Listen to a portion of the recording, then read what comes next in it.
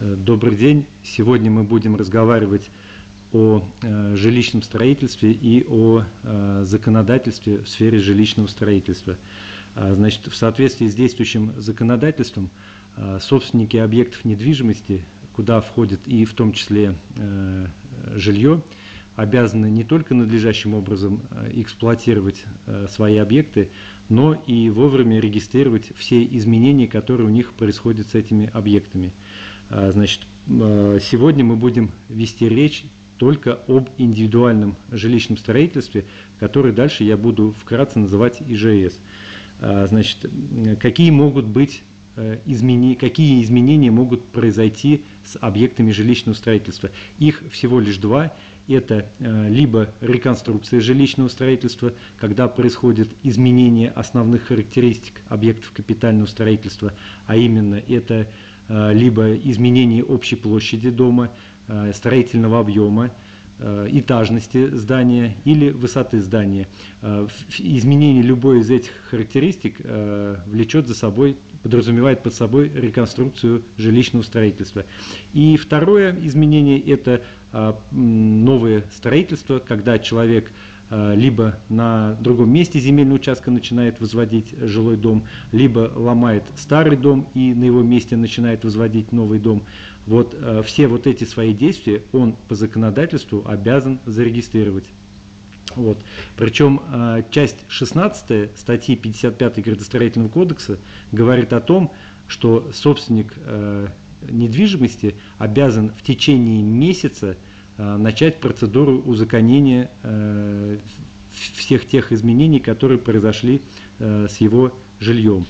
Э, Если раньше э, он обязан был обратиться э, в уполномоченный орган, который уполномочен на выдачу разрешений на строительство, то сейчас э, вступлением в силу части 12 статьи э, 70 218 Федерального закона о государственной регистрации недвижимости э, создана упрощенная схема узаконения жилых домов.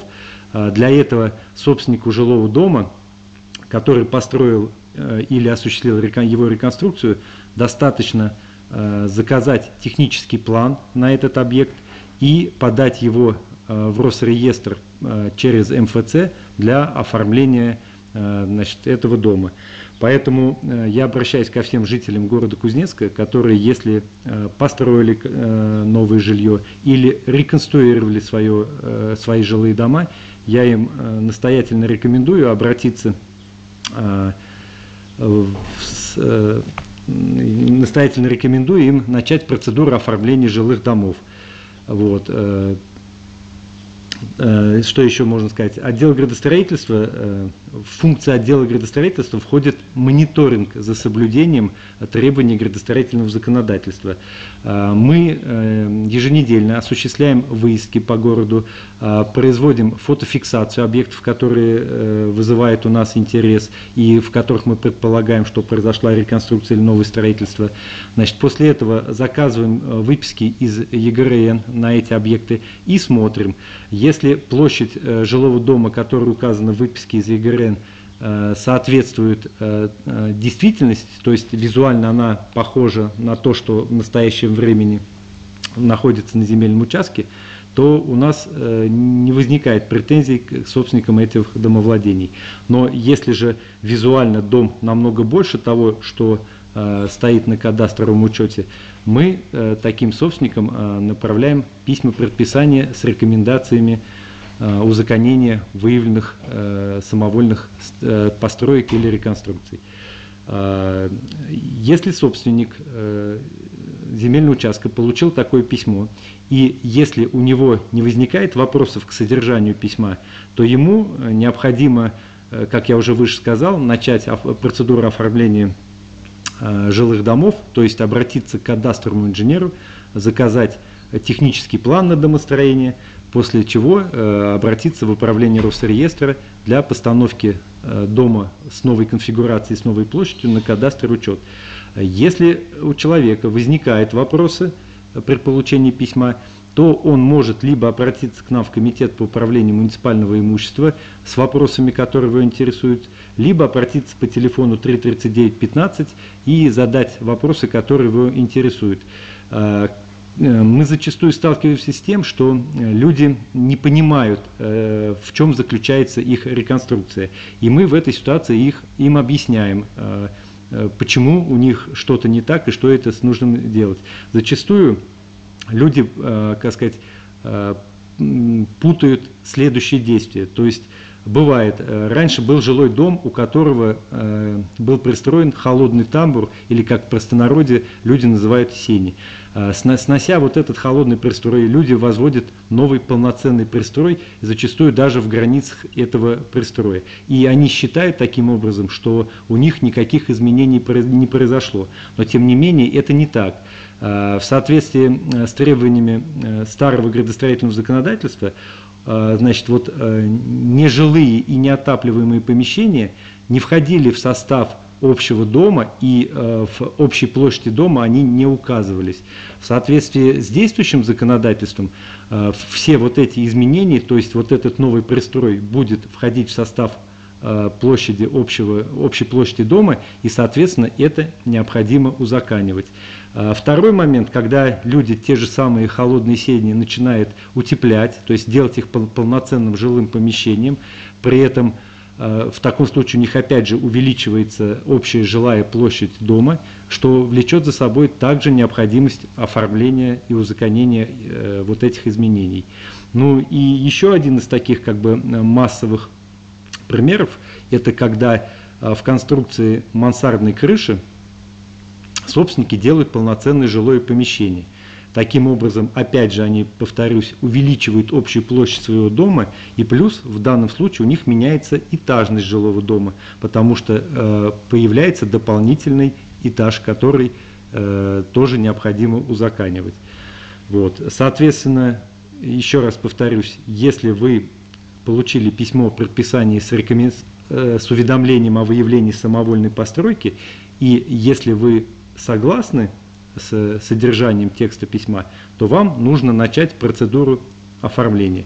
И в основном, в своей массе, я хочу сказать, что жители города Кузнецка достаточно добросовестно относятся к своим обязанностям. После э, получения подобных писем, э, либо в рамках консультаций, которые мы им оказываем, либо они сразу после получив письмо э, начинают процедуру оформления. То есть, повторюсь, в основной своей массе э, жители города Кузнецка у нас э, добросовестно относятся к своим обязанностям. Вот могу сказать, что за время своей работы отделом градостроительства, а еще раньше мы назывались отдел архитектуры и градостроительства при администрации города Кузнецка, того э, за все время мониторинга нами уже не только выявлено, но и поставлено на текущий момент оформлено 340 жилых домов. А более того, в настоящее время э, на стадии оформления находится еще несколько десятков жилых домов. Э, вынужден также сказать, что есть у нас некоторые личности, которые, скажем так, недобросовестно относятся э, к своим обязанностям, законодательным, э, законодательным обязанностям. И они всячески пытаются уклониться от процедуры оформления. В отношении таких лиц мы включаем меры административного воздействия. То есть мы составляем протокол об административном нарушении, в части нарушений правил землепользования и застройки. Э, значит, э, протокол этот влечет наложение за собой штрафа в размере до 3000 рублей. Если и после этого собственник не хочет оформлять свои дома, то нами будет проведена, будет направлена досудебная претензия в адрес этого собственника, и потом будет подано исковое обращение в судебные органы для побуждения этого собственника к оформлению своего дома. Ну, на данный момент у нас пока составлено всего 15 протоколов по таким э, а, объектам. Э, пять из них уже на текущий момент э, оформили свои дома, как того требует законодательство. Шесть находятся в стадии оформления. И э, в отношении четырех собственников мы заняли выжидательную позицию. Мы даем им еще время как бы одуматься и узаконить свои домовладения. После чего мы будем их побуждать в судебном порядке как бы к оформлению. Э, в целом хочу сказать, что мы стараемся э, до последнего не пробегать к административным мерам воздействия. То есть мы в несколько этапов пытаемся объяснить, разъяснить, уговорить э, людей начать оформление своих жилых домов. Но, повторюсь, если они категорически не желают этого, то есть мы будем их побуждать через меры э, привлечения к судебной, то есть по подаче искового заявления в суд. Ну вот у меня как бы на этом а все. Причины, хотят платить или налоги. Ну да, потому что оформление дома влечет за себя, за собой соответствующие финансовые траты. То есть изготовление технического плана влечет за собой определенную финансовую нагрузку. То есть нужно найти деньги на изготовление технического плана.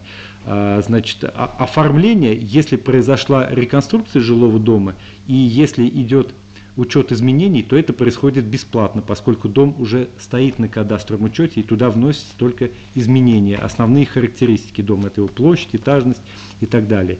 Если э, человек построил новый дом, то помимо постановки на кадастровый учет, ему еще, то есть ему нужно объект поставить на кадастровый учет, за это он должен еще заплатить государственную пошлину.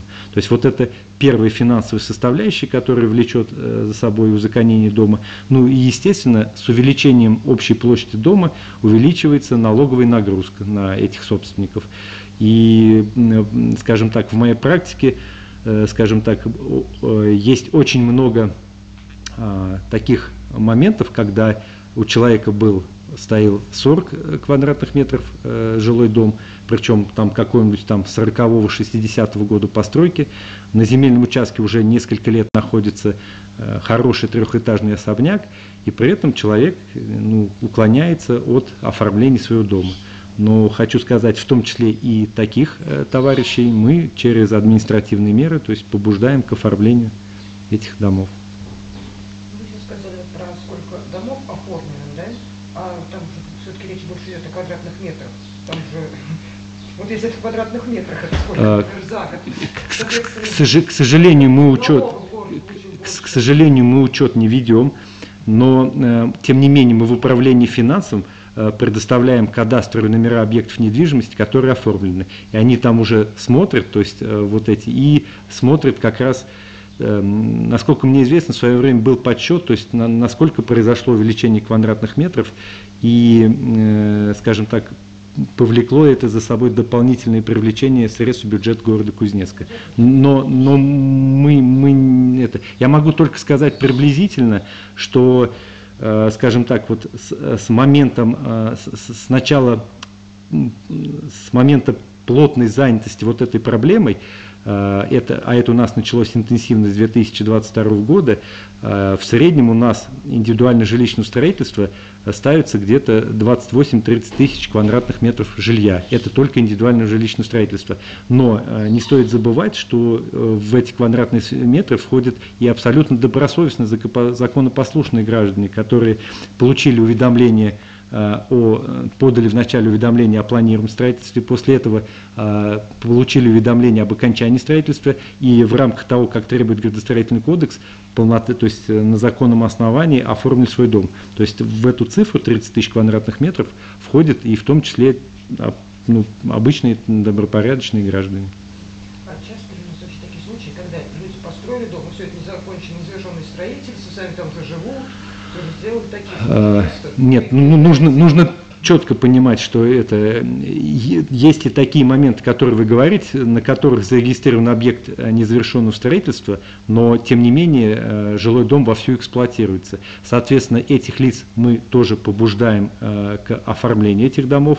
Но если дом не до конца построен, и он на самом деле из себя представляет объект незавершенного строительства, то, соответственно, закон в этом случае на стороне граждан, то есть объект недостроен, эксплуатация еще его надлежащим образом невозможна, поэтому он является объектом незавершенного строительства. Но есть и такие моменты, о которых вы говорите, есть несколько случаев, там не больше десятка, когда э, по документам завершен, э, зарегистрирован объект незавершенного строительства, но на самом деле дом полностью пригоден к проживанию и более того в настоящий момент эксплуатируется.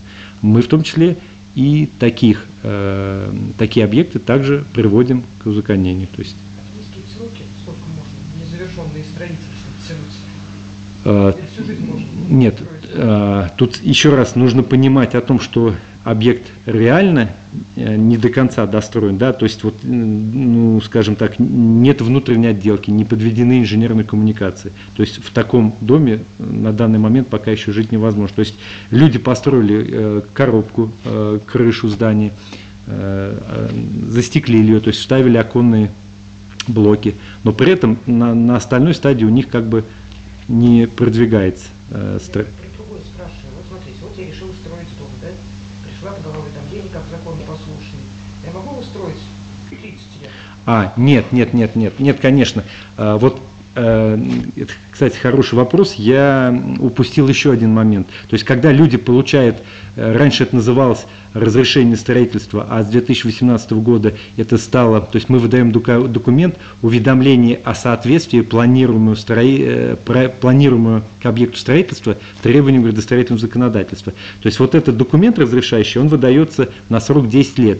И люди, многие путают, подменяют понятия. То есть, получив разрешение на 10 лет, они думают о том, что они 10 лет могут спокойно, то есть, построив за первые 2-3 года, они думают, что они 10 лет могут не обращаться и не оформлять свои дома. Это далеко не так. То есть, э, считается момент окончания строительства, не окончание срока действия разрешения на строительство, а непосредственно момент окончания строительства. И вот в том числе были у нас и такие случаи, то есть когда люди, получив разрешение строительства, и у них там срок еще не закончен, на который выдан э, срок разрешения строительства, они думают, что вот они могут до этого срока не оформлять. Это, к сожалению, не так. То есть э, считает, то есть момент э, требования градостроительного законодательства э, 55 статьи градостроительного кодекса говорит о том, что с момента окончания строительства в течение месяца они должны начать процедуру оформления своих домов, а не срока действия разрешительного документа.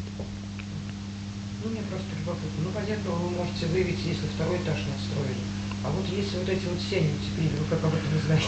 Э, Ну, э, еще раз говорю, мы делаем фотофиксацию объекта, э, заказываем выписку, сравниваем площадь дома, которая на- указана в выписке, и визуально смотрим э, то, что э, стоит сейчас на данный момент на этом земельном участке. Если у нас возникают дополнительные вопросы, мы заказываем технический паспорт на объект в котором указан дом в том виде, в котором он оформлен. То есть можно видеть планировку помещений, фасады э, дома, который, э, как сказать, наход- который официально оформлен. И сравниваем, допустим, то есть э, по фасаду, допустим, указана ширина дома 8 метров, да, это указано в техническом паспорте. На самом деле человек сделал еще пристрой 2 метра, то есть мы вижу- видим несоответствие техническому паспорту и опять фотофиксации, которую мы сделали. Мы видим несоответствие в количестве, допустим, оконных проемов, то есть по фасаду у него там 3 окошка, а теперь стало 4 окошка, потому что он пристрой сделал. То есть это все видно из документа, который мы заказываем. Но, В сенях не видно. а, ну, мы, у нас есть другие нюансы, по которым мы определяем жилое помещение или нежилое. Да? Например, занавески, цветок в окне, то есть э, объект, помещение эксплуатируется.